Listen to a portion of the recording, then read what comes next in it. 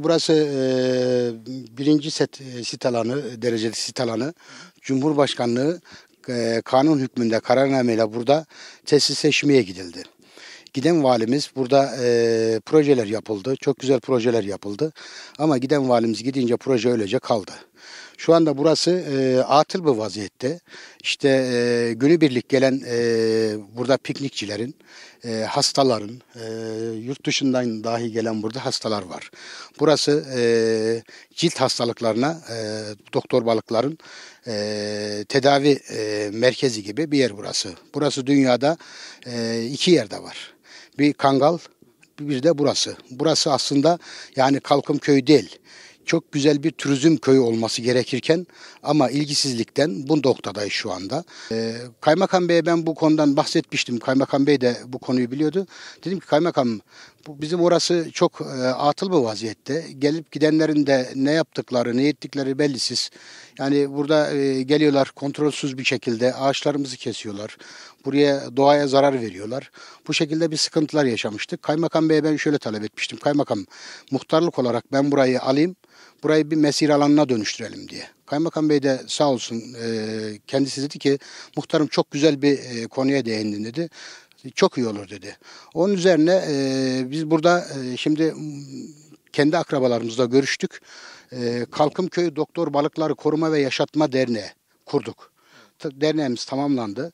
Şu anda e, her türlü faaliyetlerimizi başlatacağız. E, yani serbest, serbest bir şekilde değil de e, kontrollü bir şekilde gelenlerin daha iyi bir hizmet alabilmesi için. Şimdi buraya geliyorlar. Geldikleri zaman burada günübirlik kaldıkları zaman çöplerini burada bırakıp gidiyorlar. Çöp burası yani bir çöp yığınına dönüşüyor. Yani bakımsız gelen bir sonraki bir sonraki günkü gelecek e, piknikçiler işte hastalar burada bir çöp yığınıyla karşılıyor. Defalarca ben burada traktörle falan taşıdım götürdüm ama ne kadar e, taşıyacaksın o da malum işte. E, bu 10. aylar civarıydı. Geldim burada. Patlatmadan dolayı buradaki gelen göze e, maden e, şeyinden geliyor, istikametinden geliyor. Patlatma olduğu zaman buradaki şurada bak şeyin e, gözesi var. Suyun çıktığı gözesi oradır. Orada gözede patlatma olduğu zaman burada bulanma oluyor. Tabii balıklar burada 5 çeşit e, tür balık vardı. Şu anda 3 çeşide düştü buradaki balık. Evet buradaki şimdi e, madenin e, bize çok zararı var. Nasıl bir zararı var? Çünkü biz e, dere yatağındayız, havz, su havzasındayız. Oradan gelen e, işte siyanür atıkları, kaçakları e, 2015 yılında orada membran deniliyor. Bu şeyin havuzların altına serilen e, maddeye. Maden havuzlarının o altın siyanürlerin altına ayrıştırdıkları yere membran diye bir şey seriyorlarmış. Madde, e, çadır tarzında diyelim ben kalınlığı işte. O yırtıldığını, yırtılandan sonra bizim bu e, derede patlama olmuş. Bizim bu derede balık türü hiçbir şey canlı bir şey kalmadı. Ondan dolayı e, bize çok zararı var. Yani bize zarar ederken yani kıyaslayamayacak şekilde zararı var. Biz burada dediğimiz gibi bu altın madeni dünyanın her yerinde açabilirsin, yap, yapılabilir. Ama bu doktor balıkları Kangal ve Kalkım'dan başka bir yerde bulamazsınız.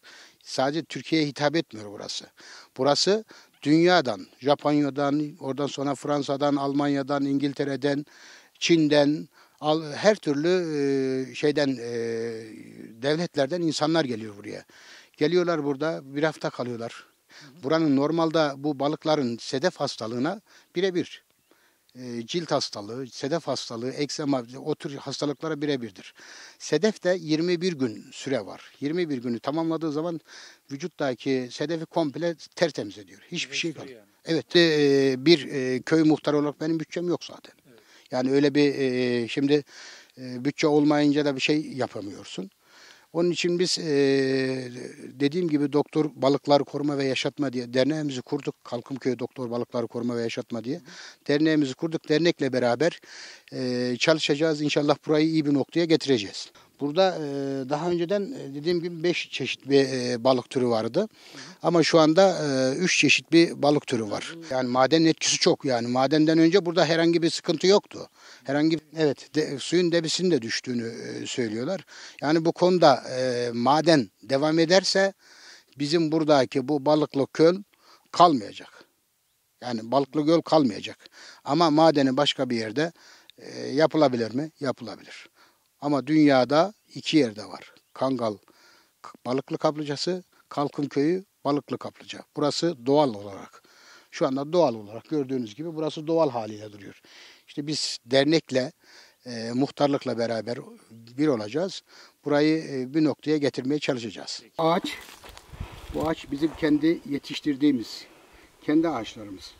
Buraya gelenler kendileri buradan ağaçları kontrollüsüz bir şekilde kesiyorlar. Burada piknik yaparken bu ağaçları yakıyorlar. Biz bu konuda çok mağduruz. Burası kanun hükmüyle, kararnameyle burası sit alanı olmuş. Sit alanına dönüştürüldü. Sit alan da burada e, bir silah patlatmayı herhangi patlatma yapılamaz diyor ama bir buçuk kilometre, bir kilometre yukarımızda maden haftada bir tonlarca dinamit patlatıyor. Yani bunun gereği neyse e, yetkililere sesliyorum. Bura kurtararım burayı. Bu doktor balıkları kurtaralım.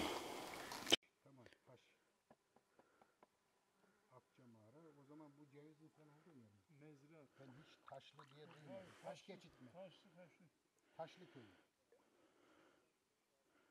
Hep Bektaş'ın